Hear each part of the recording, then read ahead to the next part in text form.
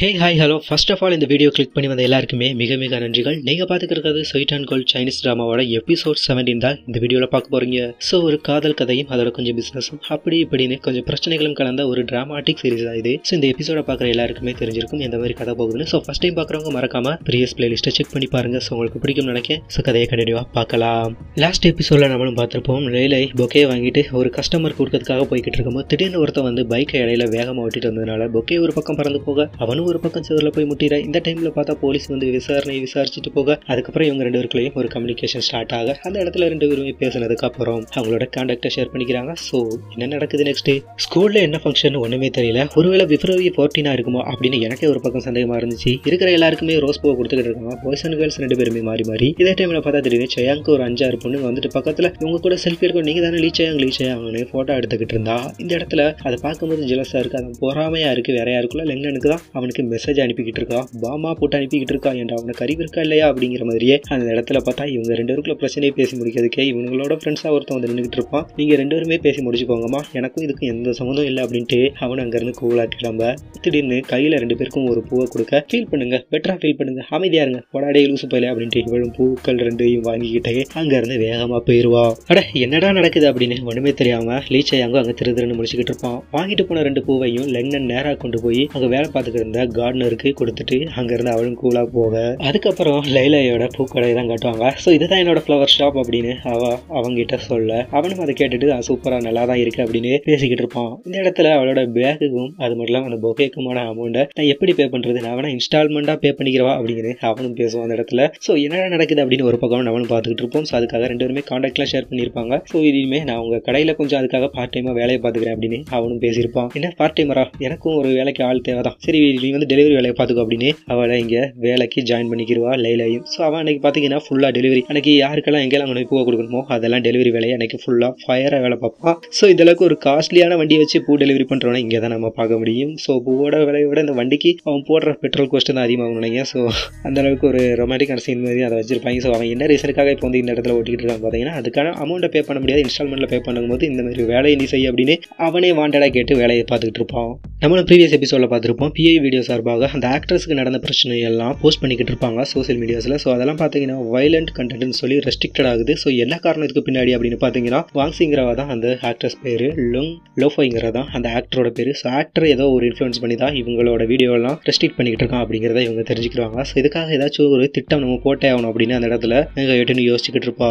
இந்த டைமில் பார்த்தீங்கன்னா ஆக்டர் ஆக்ட்ரஸ்க்கெல்லாம் நம்ம வந்து இன்ஃப்ளூன்சராக யூஸ் பண்ணுறத விட ஆல்ரெடி சோசியல் மீடியாவில் இன்ஃப்ளூன்சராக இருக்கிற நம்மள மீது நார்மலாக உள்ளவங்கள்ட்ட காண்டாக்ட் பண்ணி பேசலாம் அப்படின்னு ட்ரை பண்ணும்போது ஃபர்ஸ்ட் இவங்களுக்கு ஆப்ஷனாக இருக்கிறது லீச் சயாங் தான். ஸோ ஆல்ரெடி இவங்க ரெண்டு பேருமே கான்ட்ராக்டில் இருந்தாலும் இந்த இடத்துல இந்த மாதிரி வீடியோவை நீ வந்து ரீட்வீட் பண்ணும் அப்படின்னு இவ வந்து ரெக்வஸ்ட்டாக கேட்டுக்கிறா. சரி உண்மை என்ன நடந்துச்சுன்னு எனக்கு ஒன்றுமே தெரியாது. நீ ரீட்வீட் பண்ணி எங்களை நம்பலாம் அப்படின்னு அங்கே வந்து ட்ரஸ்டடாக பேசி அவனை ரீட்வீட் பண்ண வைக்கிறா மெகா எட்டினும். ஸோ அவனும் ரீட்வீட் பண்ணிடுறான். அந்த ரீட்வீட் பண்ணதுனால அந்த வீடியோவோட கண்டென்ட் இன்னும் கொஞ்சம் மல்டிபிள் ஷேராக நல்ல ஒரு அளவுக்கு மக்கள்கிட்ட போய் ரீச் ஆகுது. ஸோ அந்த வீடியோவில் அப்படி என்னதான் பேசியிருப்பாங்க அப்படின்னு கேட்டுக்கிட்டிங்கன்னா அவங்களோட மேரேஜுங்கிறது அஃபிஷியலாக எப்படியுமே நடக்கலை. ஸோ இவங்க வந்து மேரேஜ் பண்ணதே ஒரு சீக்ரெட்டான மேரேஜ் தான். பட் அந்த மேரேஜுக்கு முன்னாடியே ரெண்டு வருஷமாக நாங்கள் ரெண்டு பேரும் ஒன்றா தான் இருந்தோம். ஆனால் அப்போ இவனோட டார்ச்சர் ஒன்றுமே தெரியல. அந்த மேரேஜுக்கு அப்புறம் இந்த லாஸ்ட் ஒன் இயராக எந்த ஒரு சினிமாவில் கூட என்னை ஆக்ட் பண்ண விட மாட்டேக்கான் அப்படிங்கிறதெல்லாம் நம்ம லாஸ்ட் எபிசோடில் டிஸ்கஸ் பண்ணியிருந்தோம். ஸோ அதே கண்டென்ட் சேம் இதை தான் இந்த வீடியோலையும் அவள் டிஸ்கஸ் பண்ணிக்கிட்டு இருப்பா. அவனோட டார்ச்சர் அவன் இந்த மாதிரி ஃபோர்ஸ் பண்ணுறான் அவன் எப்போ எப்படி பிஹேவ் பண்ணுறான் அவன் ஃபஸ்ட்டு ட்ரிங்க் பண்ணிட்டு தான் இந்த மாதிரி பிஹேவ் பண்ணிக்கிட்டு இருந்தான் அப்படின்னு நானும் நினச்சிக்கிட்டு இருந்தேன். ஆனால் அவன் நார்மலாகவே அவன் இப்படி தான் அப்படிங்கிறத லேட்டராக தான் புரிஞ்சுக்கிட்டேன் அப்படின்னு அந்த இடத்துல ஆக்ட்ரஸும் சொல்லியிருப்பாங்க. லுங் லோஃபேக்கு எக்கச்சக்கமான ஃபேன்ஸ் இருக்காங்க ஸோ அதில் ஒரு ஃபேனோட இவனோட பெஸ்ட் ஃப்ரெண்டாக இருப்பான். ஸோ அந்த மாதிரி வந்து இவன்கிட்ட லீச் என்கிட்ட கேள்விகளை கேட்டுக்கிட்டு இருப்பான். உனக்கு அப்படி என்ன தெரியும்? உண்மை எதுவுமே தெரியாமல் நீ இந்த வீடியோவை ரீட்வீட் வேறு பண்ணியிருக்கே அப்படின்னு அவங்ககிட்ட போய் சண்டை போடுற மாதிரி பேசிக்கிட்டு இருப்பான். ஸோ எனக்கு தெரியும் அது என்ன உண்மை அப்படிங்கிறது. ஸோ இதுக்கு பின்னாடி எந்த ஒரு உண்மையான நிழல்கள் இருக்குது என்ன ஏதுன்னே தெரியாமல் நீ ஷேர் பண்ணிட்ட. ஸோ இதுக்கு பின்னாடி உள்ள பின்விளைவை நீ கண்டிப்பாக தெரிஞ்சுக்க போகிற அப்படின்னு அந்த இடத்துல அவனும் சொல்லியிருப்பான். பட் இந்த இடத்துல லீச் யாங் எது என்ன உண்மைனே தெரியாமல் ஷேர் பண்ணதை நினச்சி கொஞ்சம் ஃபீல் பண்ணாலும் நம்ம நியாயமான சைடு தான் இருக்கும் அப்படிங்கிறத அவனும் உணர்ந்துக்கிருவான். வீடியோ ஓரளவுக்கு மக்கள்கிட்ட போய் ரீச் ஆயிருக்கும். ஆனால் நமக்கு இது பத்தாது. இன்னும் நமக்கு வந்து ரீச் கிடைக்கணும் அப்படிங்கிறதுக்காக அதுக்கு ஏதாச்சும் ஒரு பிளான் பண்ணணும்னு யோசிச்சுக்கிட்டு இருப்பாங்க. அந்த இடத்துல இருந்து மெகேட்டிலும் அர்ஜென்ட்டாக எங்கேயோ கிளம்பி போவா. ஸோ அவள் ஏதோ ஒரு மீட்டிங்காக தான் போவா. ஸோ இந்த இடத்துல பார்த்தீங்கன்னா கரெக்டாக மறுபடி இவளோட அசிஸ்டன்ட் ரெண்டு பேர் இருப்பாங்களா? ஸோ அவங்க ரெண்டு பேரும் இந்த ஃபர்ஸ்ட் இந்த கம்ப்ளைண்ட்டை இவங்கள்ட்ட கொண்டு வந்து கொடுத்தா லீயை பார்த்து மீட் பண்ணிடலாம்ட்டு போகிறாங்க போன இடத்துல மீட் பண்ணி பேசுறதுக்கு ட்ரை பண்ணா அந்த இடத்துல அவன் ஆல்ரெடி ஒரு ஆக்ட்ரஸோட மீட்டிங்கில் தான் இருப்பான். ஸோ இப்போ மீட்டிங்கில் இருக்காரு சார். அதனால் நீங்கள் மீட் பண்ண முடியாதுன்னு இவங்க ரெண்டு பேருமே அவாய்ட் பண்ணிக்கிட்டு இருப்பாங்க. அங்கே இருக்கிற இவனோட பந்தபோஸ் ஸோ அவங்களோட அந்த டைமில் எப்படியாவது அவங்ககிட்ட பேசி ஆகணும் அப்படின்னு முயற்சி பண்ணிக்கிட்டு இருப்பாங்க. ஒரு வழியாக அவன் பக்கத்தில் போகிறாங்க போனதுக்கப்புறம் இந்த மாதிரி பிரச்சனை நடக்குது. நீங்கள் வந்து ஏதாச்சும் ஒரு இன்ஃப்ளூயன்ஸ்ட்டு ரெக்கமெண்ட் பண்ணுங்கள் நான் உங்கள்கிட்ட ஆல்ரெடி இந்த கான்ட்ராக்ட் இந்த மாதிரி நீங்கள் பண்ணுறீங்கன்னு சொல்லிட்டீங்க. ஆனால் இதுக்கான பிரச்சனை வந்து இப்போ ஏன்ட்ட சொல்லிட்டு இருக்கீங்களே ரீச் ஆகுதோ ரீச் ஆகலங்க அதெல்லாம் உங்களோட பொறுப்பு. ஏன்ட்ட வந்து சொல்லி இப்போ என்ன ஆக போகுது அப்படின்னு அவங்க ரெண்டு கிட்ட பேர்கிட்ட பேசிக்கிட்டு இருப்பான் இல்லையும் ஸோ திடீர்னு பார்த்து அந்த இடத்துல ஆப்போசிட்டில் உட்காந்துருக்கிற ஆக்ட்ரஸ் ஆக்ட்ரஸ் தெரிஞ்சோடனே இந்த மாதிரி பிரச்சனையை பற்றி தான் பேசிக்கிட்டு இருக்காங்க அப்படிங்கும்போது இவங்க லோஃபையை பற்றி தான் பேசிக்கிட்டு இருக்கும்போது லோஃபை அவனை பற்றி சரி நீங்கள் சொல்லுங்க அப்படின்னு. அவளும் என்னவோ பார்த்தீங்கன்னா ஒரு ஃபேஷன் ரிலேட்டடாக உள்ள அந்த மாதிரி போஸ்டிங் போடுறவ தான். ஆனால் இந்த டைமில் இந்த மாதிரி போஸ்ட் போடலாமா வேண்டாமா அப்படின்னு யோசிச்சா கண்டிப்பாக போட்டே ஆகணும். ஒரு பொண்ணுக்கு நடந்த பிரச்சனையை இன்னொரு பொண்ணு தான் அதை பப்ளிசிட்டி பண்ணி ஆகணும் அப்படின்னு இவங்களும் ஓரளவுக்கு எப்படியும் அவளுக்கு ஒரு ஹைப் ஏற்றி விட்டுருவாங்க. ஸோ அந்த இதுலேயே அவளும் அதை வேகமாக போஸ்ட் பண்ணிடுவா. ஸோ வந்த வேலை ஏதோ ஈஸியாக குயிக்காக முடிஞ்சிச்சு அப்படின்னு ரெண்டு பேருமே கூலாக கேஷுவலாக வந்துட்டு டாடா பை சொல்லிட்டு இவளுக்கும் தேங்க்யூ சொல்லிட்டு கிளம்பிடுவா. ஸோ இந்த போஸ்ட்டு இன்னும் இதை விட நல்லா வைரல் ஆகிறதுக்கு இது ஒரு சூப்பரான ஐடியாவாக அவங்களுக்கு இருக்கும். போஸ்ட் ஏதோ மில்லியன் வியூஸ் அடிச்சு நொறுக்கி எப்படியோ ஓரளவுக்கு மக்கள்கிட்ட போய் சேருது. ஸோ எல்லாருமே பார்த்தீங்கன்னா சோஷியல் மீடியாவில் எப்பவுமே ஆக்டிவாக இருக்கிறவங்க தானே. ஸோ வீடியோ ரீச் ஆகுதுன்னா எக்கச்சக்கமான பேர் ஷேர் பண்ணும்போது ஆட்டோமேட்டிக்காக இதுதான் ட்ரெண்டிங் கண்டென்ட் இன்னைக்கு அல்கோரிதமும் அதுக்கேற்ற மாதிரி செட் ஆயிரும். ஸோ அதனால் இருக்கிற எல்லாருமே அந்த வீடியோவை பார்ப்பாங்க. பார்த்து இந்த பிரச்சனை ஒரு வழியாக லிங்கில் ஆஃபைக்கே போய் சேருது. அந்த பிரச்சனையிலேருந்து அவன் எப்படி தப்பிக்க போகிறான் ஸோ நெக்ஸ்ட் டேலேருந்து அவனுக்கு பிரச்சனை ஸ்டார்ட் ஆச்சு அப்படின்னு வச்சுக்கோங்க. அப்படின்னு அந்த இடத்துல இவங்க எல்லாருமே பேசிக்கிட்டு இருப்பாங்க. ஒரு வழியாக கண்டென்ட்டை ரீச் பண்ண வச்சுட்டேமேனு அந்த இடத்துல தான் திடீர்னு பார்த்தா மேடினும் அவளோட கண்டென்ட்டை பற்றி பேசி அவங்க டீமோட பேசிக்கிட்டு இருக்கும்போது இதே டைமில் பார்த்தா அங்கே லிங் சிமிங்கும் வருவான். இலையிலேயும் இந்த தம்பி இன்னைக்கு வேலைக்கு பார்த்ததுக்கு இன்னைக்கு இவனுக்கு எவ்வளோ சம்பளம் கொடுக்கலாம் அப்படின்னு கால்குலேஷன் போட்டுக்கிட்டு இருப்பான். சரி நீயே இதில் உனக்கு எவ்வளோ சம்பளம் தரலாம் அப்படின்னு அந்த இடத்துல அவன் பேசிக்கிட்டு இருக்கும்போது ஃபைவ் மில்லியன் ஃபைவ் மில்லியனா அப்படியா? ஓ அப்போ ஃபிஃப்டி என் டி என் தானே? சரி ஓகே உனக்கு டெய்லி இதுவே அமௌண்ட்டாக போட்டு வச்சிடுறேன் அப்படின்னு பேசிக்கிட்டு இருப்பா. இப்போ தான் இவளும் இந்த இடத்துல இந்த போஸ்ட்டையும் பார்த்துருப்பா. போஸ்ட்டை பார்க்கும்போது இந்த பசங்கள்லாம் இப்படி தான் அதாவது ஆம்பளைங்களாம் இப்படி தான் அப்படிங்கிற மாதிரி அவளும் அந்த இடத்துல பேசியிருப்பா. அந்த இடத்துல பேசும்போது திடீர்னு நானும் ஒரு ஆம்பளை தான் என்னைய பார்த்து அப்படி நீ அப்படிங்கிற மாதிரி நான் வந்து காமனாக சொல்ல நீ வந்து ஒரு ஆம்பளம் சொல்ல முடியும் நீ ஒரு பையன் அப்படின்னு. அந்த இடத்துல ஏதோ ஓரளவுக்கு இவ்வளோ பேச்சை மாற்றிக்கிட்டு இருப்பான். லெக்ஸிங்கும் மெகா எட்டுன்னு பார்க்க வந்திருப்பான். அந்த சும்மா வரல கையில் எக்கச்சக்கமான ஸ்நாக்ஸ்லாம் வாங்கிட்டு வந்திருப்பான். ஸோ அங்கே இருக்கிற வேலை பார்க்குறவங்களுக்குலாம் ஸ்நாக்ஸ் வாங்கிட்டு வந்திருப்பாங்க பார்த்துக்கோங்களேன் ஸோ அவங்களுக்கெல்லாம் கொடுத்துட்டு ஒரு பக்கம் இவளுக்கும் கொண்டு வந்து கொடுத்துருப்பான். ஸோ ரெண்டு பேரும் அவங்களுக்குள்ள பெர்சனல் உள்ள பிரச்சனையை பற்றி தான் பேசிக்கிட்டு இருப்பாங்க. மேகியோட பாய் ஃப்ரெண்டோட பிரச்சனையை பற்றி தான் பேசிக்கிட்டு இருப்பாங்க. ஸோ அவனை நாளைக்கு நான் மீட் பண்ண போகிறேன் அப்படிங்கிறதையும் லெங்ஸிங் அந்த டைமில் சொல்லியிருப்பான். ஸோ ரெண்டு பேருமே அப்படியே வீட்டுக்கு போவாங்க. வீட்டுக்கு போன இடத்துல பார்த்தீங்கன்னா திடீர்னு ரொமாட்டிக்கான ஒரு கிஸ் பண்ண அந்த இடத்துல லெங் ஒன்று வர வந்த உடனே இவங்களையும் பார்த்து பார்த்துட்டு பார்த்ததுக்கப்புறம் உங்களை மாதிரி ஒரு க்யூட்டான கப்பில் பார்த்ததே இல்லை அப்படிங்கிற மாதிரி இவ்வளோ ஒரு பிட்டை போட சரி அப்படின்ட்டு அந்த இடத்துல அந்த கதையை கேட்டுக்கிட்டு இருந்தா. அதுக்கப்புறம் இந்த வீடியோ ஷேர் பண்ண கதையை பற்றி பேசிக்கிட்டு நீ போய் உன்னோட படிக்கிற வேலையை பாருமா அப்படின்னு இந்த இடத்துல லென்சிங் பேசியிருப்பான். இந்த மாதிரி வீடியோஸை பார்த்து உன்னோட டைம் வேஸ்ட் பண்ணிக்கிட்டு இருக்காத அப்படிங்கிற மாதிரி சொல்லியிருப்பான். ஸோ இதெல்லாம் எல்லாருக்குமே முக்கியமான வீடியோ தானே. இந்த மாதிரி வீடியோலாம் பார்க்கறது தப்பா. இது வந்து ஒரு பெண்களுக்கான எதிராக உள்ளதில்ல அப்படி இப்படி இல்லை அப்படிங்கிற மாதிரி அவ்வளோ அந்த இடத்துல பேசிக்கிட்டு இருப்பான். மேகாயிட்டினும் இந்த கதைகளை கேட்டுக்கிட்டு இருக்கேன் ஸோ இதுக்கு பின்னாடி ட்ரூவாக உண்மையிலுமே அந்த ஆக்ட்ரஸ் பக்கம் ஏதாச்சும் ஒரு பிரச்சனை இருக்குமோ இல்லையா அப்படிங்கிறதும் நமக்கு நெக்ஸ்ட்டில் கொடுத்துருப்பாங்க. ஸோ ஏன்னா நெக்ஸ்ட் டே ஒரு வீடியோ ரிலீஸ் ஆகும். அந்த வீடியோ ரிலீஸ் ஆனதுக்கப்புறம் தான் என்ன மாதிரி கண்டென்ட் வருது அப்படிங்கிறதே நெக்ஸ்ட் நமக்கு காட்டியிருப்பாங்க. அடடா ஃபைனலாக கரெக்டாக அந்த லோவை நமக்கு காட்டாங்க இவங்க தான் அவங்க அந்த லுங் லோ ஃபை ஸோ அவன் வந்து பார்த்தா காரில் வேகமாக இருப்பாங்க மீ இந்த பிஐ வீடியோலாம் இங்கே சும்மா இருக்காம அவங்க வந்து வீடியோ எடுத்துக்கிட்டு இருப்பாங்க. ஸோ இவனுக்குள்ளே ஒருத்தனை செட் பண்ணி அவங்ககிட்ட சண்டை போடுற மாதிரி ஒரு வீடியோ ரெடி பண்ணி அந்த கண்டென்ட்டையும் போஸ்ட் பண்ணுறதுக்கு தயாராக வச்சிருப்பாங்க. ஆனால் திடீர்னு பார்த்தா இன்னொரு வீடியோ வைரல் ஆகிட்டு இருக்கு. அது வேற யாரோட வீடியோ இல்லை. அந்த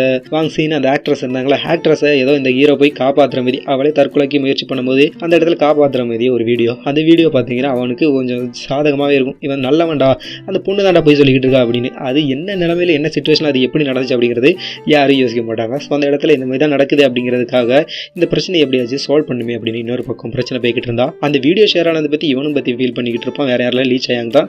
இப்போ என்ன பண்ணுறதுன்னு தெரியாமல் பதட்டமாக இருப்பான். ஸோ மறுபடியும் என்னோட வேலையை நான் பார்க்க போகிறேன் இதெல்லாம் பார்த்து என்னால் சும்மா இருக்க முடியாது அப்படிங்கிற மாதிரியே அந்த இடத்துல லீச் ஆயாங்க பேசிக்கிட்டு இருப்பான். இந்த இடத்துல பார்த்தா என்னோட கேர்ள் ஃப்ரெண்ட் எப்போவுமே நீ தான் அப்படிங்கிற மாதிரி இந்த இடத்துல கரெக்டாக இல்லைங்கன்ட்டு அவனு ஒரு அளவுக்கு ப்ரொப்போஸ் அதாவது அஃபிஷியலாக அதாவது டேரக்டாக சொல்லாமல் கொஞ்சம் இன்டேரக்டாக சொல்லுவாங்களா அந்தமாரி சொல்லிட்டு கட்டி பிடிச்சிரும் ஸோ ஓகே சூப்பர் ஸ்வீட் அப்படின்ட்டு அந்த சீனை அப்படியே கட் பண்ணி முடிப்பாங்க. இந்த வீடியோவை லெங் சிம்மிங்கும் பார்த்துருவான் இப்போ என்ன பண்ணுறதுன்னு தெரியாமல் மேகாயிட்டனு கால் பண்ணி கேட்டுக்கிட்டு இருப்பான். இந்த டைமில் நான் பிஸ்னஸ் மீட்டிங்காக போகிறேன் ஸோ கண்டிப்பாக அந்த பிரச்சனை பற்றி தான் பேச போகிறேன் பேசிட்டு உனக்கு கால் பண்ணுறேன் அப்படின்னு அவளும் காலை கட் பண்ணிடுவான் ஸோ நெக்ஸ்ட்டு பார்த்தீங்கன்னா கரெக்டாக அங்கே அந்த வாங்ஸியை தான் மீட் பண்ண போயிருப்பா. ஆக்ட்ரஸை தான். மீட் பண்ண போயிட்டு உண்மையை சொல்லு. இதுக்கு பின்னாடி என்ன கதை இருக்குது நீங்கள் சொன்னதெல்லாம் உண்மையா இல்லையா? பொய் தானா அப்படிங்கிற மாதிரியே அந்த இடத்துல மெயினாக பேசிக்கிட்டு இருப்பான் இந்த இடத்துல அந்த வீடியோவில் இருக்கிறது உண்மைதான். அட அப்போ என்ன சொல்கிறீங்க உண்மையிலுமே நீங்கள் சொன்னது பொய் தானா அப்படின்னு அந்த இடத்துல மெயினாக இருக்கப்பா இல்லை இல்லை. அன்றைக்கி அவன் அந்தளவுக்கு டார்ச்சர் பண்ணி என்னை ஃபோர்ஸ் பண்ணி அந்த மாதிரி இந்த மாதிரி பிரச்சனைலாம் பண்ணதுனால நான் வந்து சூசைட் பண்ணுறதுக்கு முயற்சி பண்ணேன். அந்த இடத்துல அவன் ஏதோ காப்பாற்றுற மாரி அந்த வீடியோவை இப்போ எடுத்து ஏதோ அவனுக்கு சாதகமாக பயன்படுத்துகிறான் அப்படின்னு அந்த இடத்துல அந்த ஆக்ட்ரஸும் சொல்லியிருப்பாங்க. இதுக்கப்புறம் தான் ஒரு உண்மை புரிய வருது. அப்போ இவ அந்த வீடியோலாம் எங்கே வச்சுருக்காங்க? அந்த ஸ்டோரை அது எல்லாமே அவன் தான் வச்சிருக்கான். ஸோ அன்றைக்கே சொல்லிட்டு அந்த வீடியோ எல்லாமே இல்லை. அதெல்லாம் கரெக்ட் ஆயிடுச்சு. ஆனால் பட் இப்போ அவன்கிட்ட இருக்குது அப்படிங்கிறது இப்போ தான் எனக்கே தெரிய வருது அப்படின்னு இவ்வளோ அங்கே சொல்லியிருப்பா. அவனோட எக்ஸ் கேர்ள் ஃப்ரெண்ட் யாராச்சும் இருக்காங்க அவனுக்கு தெரியுமா அப்படின்னு ஒரு தி பேரை சொல்லியிருப்பா. அங்கே வாங் செய்யும். ஸோ மெஹாட்டின்னு அவளை மீட் பண்ணுறதுக்காக தான் நெக்ஸ்ட் போவான் மேகியோட பாய் ஃப்ரெண்டை ஒரு ஹோட்டலில் மீட் பண்ணுறான் லெங்ஸையும் ஸோ அவன்கிட்ட தான் இப்போ தான் பிரச்சனையை பற்றி பேசி அது என்ன அதுக்கான சொல்யூஷன் என்ன பண்ணலாம் அப்படிங்கிறத தெரிஞ்சுக்க ட்ரை பண்ணுவான். அந்த இடத்துல அவனு சொல்கிறான் நான் ஒரு ஆர்கிடெக்சர் ஸோ நான் வந்து பார்த்தீங்கன்னா இந்த சைனாவில் அழகான வீடுகளும் ஸோ ஸ்பெஷலாக இப்போ உள்ள மார்க்கெட்டிங் ஏற்ற மாதிரி அஃபோர்டபுளாக ப்ரைஸில் நம்ம கட்டலான்னு முயற்சி பண்ணோம். ஸோ அதுக்காக நிறையா கம்பெனிக்கு என்னோட ப்ராஜெக்ட்லாம் சப்மிட் பண்ணேன். ஆனால் அதில் ஏதோ ஒரு பிரச்சனை இருக்குது இதில் ஏதோ ஒரு இது இருக்குது அப்படிங்கிற மாதிரியே அவங்க என்னைய அவாய்ட் பண்ணிட்டாங்க. ஸோ இது உண்மையிலுமே வந்தால் நல்ல ஒரு ப்ராஜெக்ட் எனக்கு பணம் சம்பாதிக்கணும் அதெல்லாம் முக்கியம் இல்லை. எனக்கு இந்த மாதிரி ஒரு நல்ல ஒரு வீடை கட்டி மக்கள்கிட்ட ஒரு நல்ல ஆர்கிடெக்சர் அப்படிங்கிறத என்னோட திறமை கொண்டு வந்து ஹிஸ்ட்ரியில் ஒரு இடம் பிடிக்கலான் இருந்தேன். ஆனால் இது எதுவுமே நடக்காமல் போனதுனால எனக்கு என்னால் என்னோட வாழ்க்கையை நம்ப முடியாத அளவுக்கு மாறி போச்சு அப்படின்னு அந்த இடத்துல பேசிக்கிட்டு இருப்பான் சரி இதோட வாழ்க்கை இப்படி போனால் ஏன் உங்களுக்கும் மேய்க்கும் என்ன பிரச்சனை அப்படின்னு கேட்க இது எதுவுமே சக்ஸஸ் ஆகாமல் நான் எப்படி போய் மறுபடியும் மேகை மீட் பண்ணுறது அதனால தான் நான் அவளை அவாய்ட் பண்ணிக்கிட்டு இருக்கேன் அப்படின்னு அந்த இடத்துல இவனும் சொல்லியிருப்பான். மெகா எட்டினும் ஒருத்தையை மீட் பண்ண போகிறா அவள் வேற யாரும் இல்லை. லங் லோஃபையோட எக்ஸ் கேர்ள் ஃப்ரெண்டு தான். ஸோ அவள்கிட்ட போய் பேசும்போது அவன் சொல்கிறான் நான் மட்டும் அவனுக்கு கேர்ள் ஃப்ரெண்டில் எக்கச்சக்கமான கேர்ள் ஃப்ரெண்ட் இருக்காங்க அப்படிங்கிற மாதிரி அந்த சீனை காட்டியிருப்பாங்க. இதே டைமில் லெங்ஸிங்கும் அப்படியே அவங்க அப்பனை மீட் பண்ண வந்திருப்பான். வந்து அவங்ககிட்ட பேசிக்கிட்டு இருப்பான். என்னத்தை பற்றினா இந்த மாதிரி? ஃபியூச்சரில் நமக்கு இப்போ வந்து நீங்கள் ஒரு கன்ஸ்ட்ரக்ஷன் பில்டிங்கை ஸ்டார்ட் பண்ணலாம். எதுக்காக இந்த மேரேஜ் ஃபங்க்ஷனுக்கு இந்த மாதிரி நம்ம அமௌண்ட்டை லோனாக கொடுத்துக்கிட்டு இருக்கோம்? ஸோ இந்த மாதிரி கன்ஸ்ட்ரக்ஷன் டிபார்ட்மெண்ட் நம்ம கொஞ்சம் கான்சன்ட்ரேட் பண்ணால் நல்லா தான் இருக்கும் அப்படிங்கிற மாதிரி பேசிக்கிட்டு இருப்பாங்க. இந்த இடத்துல அவன் சொல்லுவான் நம்ம கல்ச்சரு ஆயிரம் வருடங்களாக இருக்குது ஸோ ஆயிரம் வருடங்களில் இந்த மக்களுக்கு வந்து இப்போ வந்து நீ அஃபோர்டபுள் ப்ரைஸில் ஒரு வீடை கட்டி கொடுக்கணும் யாராச்சும் அந்த பிளானை நம்பி பின்னாடி வருவாங்களா? ஸோ உண்மையை பாரு நீ இந்த டைமில் ஒரு மனுஷனுக்கு எந்த அளவுக்கு ப்ரெஷர் இருக்குது அவன் குடும்பத்தை பார்ப்பானா? வாழ்க்கையை பார்ப்பானா? சாப்பாட்டுக்கு பார்ப்பானா? அப்படிங்கிற எக்கச்சக்கமான பாப்புலேஷனும் பெருகிக்கிட்டு இருக்கு. இந்த சைனாவில் இந்த டைமில் நீ இந்த மாதிரி பிளானை கொண்டு வந்தால் அது எக்ஸிக்யூட் பண்ண முடியுமா? அப்படின்னு அந்த இடத்துல லெங்ஸ் எங்கிட்ட பேசிக்கிட்டு இருப்பான். அவங்க அப்பனும். லுங் லோஃபையோட நான் பிரிஞ்சு ரொம்ப காலமாச்சு. ஆனால் அவனை பற்றி எனக்கு எதுவுமே சரியாக கிளியராக தெரியாது. ஆனால் உங்களுக்கு என்ன தேவையோ அதை பற்றி நான் உண்மையை சொல்கிறேன் அப்படின்னு அந்த இடத்துல அவங்களும் சொல்லியிருப்பாங்க மெகா எயிட்டின் கிட்ட. ஸோ இதோட இந்த எபிசோட் முடியும். நெக்ஸ்ட் எபிசோடில் என்ன நடக்குன்னு பார்க்கலாம். டடா பை சி யூ